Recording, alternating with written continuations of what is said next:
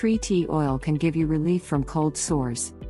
Terpenes and phenylpropanoids are the main components responsible for their biological properties to deal with viruses, bacteria, and fungus. Cold sores is a viral infection.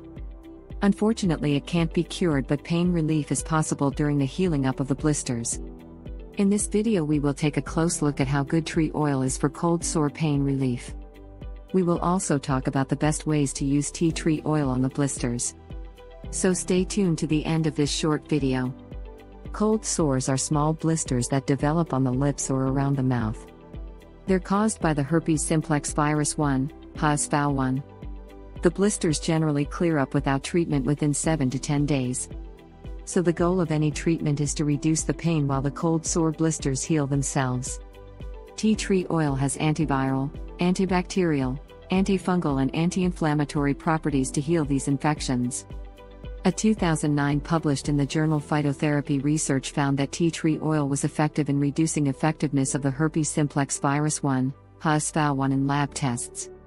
A complex mixture of different monoterpenes present in natural tea tree essential oil were responsible for the powerful antiviral activities against HSV1.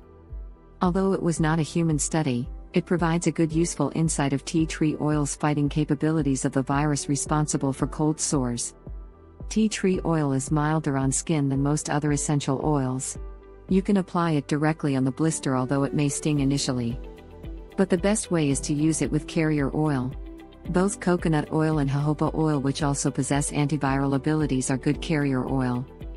Mix 10 drops of tea tree oil and 10 drops of coconut oil or jojoba oil. Apply on cold sore blisters with a cotton swab or tip. Apply this carrier oil mixed tea tree oil twice a day to get quick relief from the pain of cold sore blisters. Applying ice on the blisters before application of tea tree oil increases effectiveness as the ice numbs the skin to reduce pain. Bottom line is, tea tree oil is good for cold sore pain relief. If you enjoyed the video then give it a thumbs up and share with your friends. Subscribe to the channel to watch more videos.